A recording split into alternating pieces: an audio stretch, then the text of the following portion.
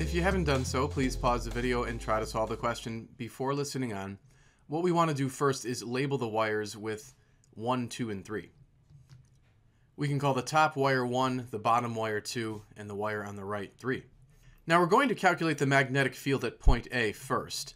And to do that, what we want to note first is that we have four right triangles that are all sort of connected together.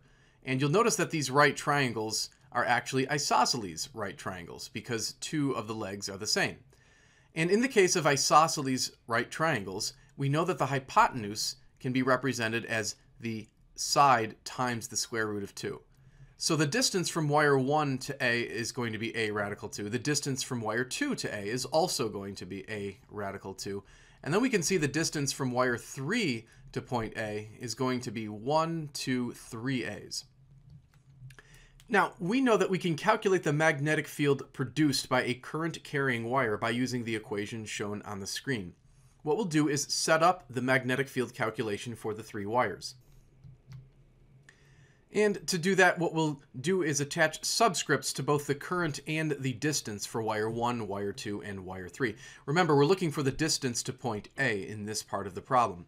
We can fill in the currents as they are all given to be 2 amps, and then we've already noted that the distance for wire 1 to point A and wire 2 to point A is A radical 2. And then again, from wire 3 to point A is 3A. So we'll plug in those distances as well.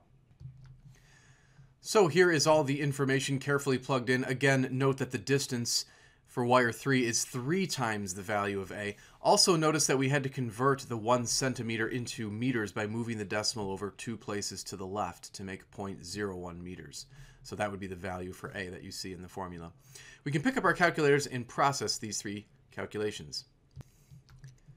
And for wires 1 and 2, you should get a magnitude of approximately 28 times 10 to the minus 6 Tesla, and then wire 3 produces a magnetic field of 13 times 10 to the minus 6 Tesla. Next, we need to consider the direction of the magnetic field produced at point A. And to do that, we're going to have to consider a right-hand rule.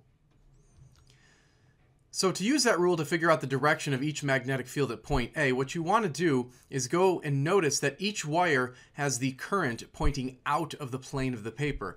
We know that because the currents have the dots located in the center of each wire, and the dots indicate that current is flowing out of the page. So what you want to do is stick your thumb out of the plane of the screen, basically pointing towards yourself, and make a fist with your fingers, essentially. And you'll notice that your fingers would be moving in a counterclockwise fashion. And so try to imagine wire 1 producing a magnetic field in a counterclockwise fashion at point A. So if we kind of make a circular arc that's going in a counterclockwise fashion, it might look something like that. That's pretty crude, but that would be the magnetic field produced by wire 1 at point A. The key thing to note is that as that magnetic field is circling in a counterclockwise fashion, when it gets to point A, it's going to be pointing exactly along this line right here. So this would be the direction of the magnetic field produced by wire 1. We can call that B1. Now, similarly, wire 2, got to put the labels back on the wires, is producing a magnetic field that's going in a counterclockwise fashion. And so when the magnetic field line kind of circles its way over here to point A, right there it's going to be pointing exactly along this direction. So that would be B2. And then we have wire 3 also producing a counterclockwise circular magnetic field. When that magnetic field sort of arcs its way over here and onto point A, it's going to be pointing straight downward. So that would be the magnetic field B3. Now let's recall that this was an isosceles right triangle right here. So that means this angle is 45 degrees, making this angle 45 degrees, as well as this angle, and in fact that angle. They're all 45 degrees. Let's go ahead and draw a new picture that hopefully better represents what's going on at point A. Now because these are vectors, what we need to do is break them up into their x and y components. So let's do that for B2 as well as B1. And after breaking the B1 and B2 into their respective components, we can actually get rid of the original magnetic field lines because we really only need to be dealing with the components. Now remember that the magnitude of B2 and B1 was the same. We can see that off on the side here. That means that this x component of B2 is going to cancel with the x component of B1. And so all we're left with are the three downward pointing components of the magnetic fields. So we're simply going to add together B2 sine 45, B3, and B1 sine 45. So you can type that into your calculator, these three vectors right here, and when you do that, you should get roughly 53 times 10 to the minus 6 Tesla, which of course is 53 microtesla.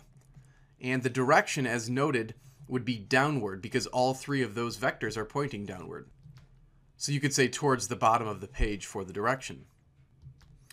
Now we'll calculate the magnetic field at point B once again, we're going to use the same formula. We can notice that the distance from wire 1 to point B is just A. The distance from wire 2 to point B is also A. And then the distance from wire 3 to point B is 2A. So let's set up the three magnetic field calculations. So here are those setups. Notice that the B1 and B2 are the same because their distance to point B was the same. So we've set up the calculation in a more simplistic manner. When we pick up our calculators and process these, we get approximately 40 microtesla for the magnetic field produced by wire 1 and wire 2, and then approximately 20 microtesla for the magnetic field produced by wire 3. And of course, now we move on to the direction at point B. Remember, the magnetic fields are all still traveling in a counterclockwise fashion. So wire 1 produces a magnetic field that circles over here and then is pointing exactly to the right. Wire 2 going counterclockwise would be producing a magnetic field going exactly to the left. And so those are actually going to cancel out. And then wire 3 would be producing that counterclockwise magnetic field that would be pointing straight down. In essence, the three magnetic field vectors would look like this. Remember, the magnitude of B2 and B1 is the same, so since they're pointing in opposite directions, they're going to cancel each other out. Therefore, the only magnetic field component acting at point B is the magnetic field produced by wire 3. So the correct answer for the magnetic field produced at point B is going to equal 20 microtesla, again towards the bottom of the page. And so there is the correct answer. We'll move on to point C now. And there's sort of a trick going on here at point C, or maybe something unexpected. And before we set up all the calculations, we actually want to note that the magnetic field here is going to be zero, in fact. And let's take a look at why. Consider wire 1, whose magnetic field again is going counterclockwise. So as it circles around wire 1 and gets to point C, it's going to be pointing off in that direction here. Wire 2, again producing a counterclockwise magnetic field, would have a magnetic field line that's circling around, and when it gets to point C, it's going to be pointing off in that direction. And then wire 3, producing a counterclockwise magnetic field, would have a magnetic field line that's circling this way, and when it gets to point C, would be pointing straight down.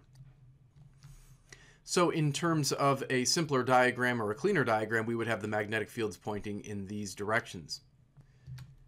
Now let's note that the distance from wire 1 to point C is that A radical 2, and the distance from wire 2 to point C is also A radical 2, and the distance from wire 3 to the point is just A. Coming back over to this diagram, let's note that when we break B1 into its x and y components, and then also B2 into its x and y components, the x components are going to cancel each other out. So all we're left with are the two y components. So therefore we can call that y component on B1 B1 sine of 45. And then B2's y component will be B2 sine of 45. Therefore, the total magnetic field at that point can be written as B2 sine of 45 plus B1 sine of 45 and then minus b3. We say minus because it's pointing downward. We can actually factor out a sine of 45 from the first two terms. And now we'll go ahead and fill in the expressions for b1, b2, and b3. And then we'll fill in the known value for the current as well as A. And you want to carefully now plug that all in, and I do assure you that when you do so, you end up with a magnetic field equal to zero Tesla. So the magnetic field located at point C is actually zero. Thanks for watching. If you liked it, click the thumbs up icon and subscribe to the channel. Remember, you can send your own question to the email address on the screen, and I will do my best to answer it on YouTube.